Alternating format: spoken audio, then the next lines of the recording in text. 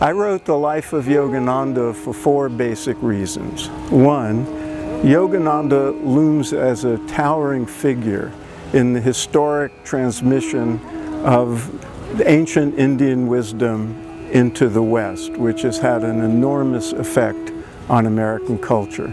Two, his life story, the narrative of how Mukundalal Ghosh became the world teacher Paramahansa Yogananda is extraordinarily interesting and dramatic and deserved a, a, full telling and it had not been done before.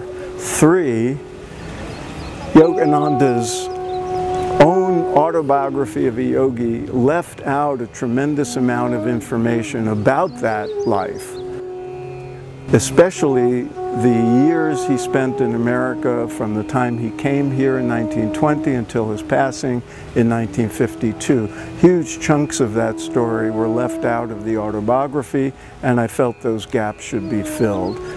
And finally, his life stands as an example and a role model and an inspiration for everybody on a spiritual path.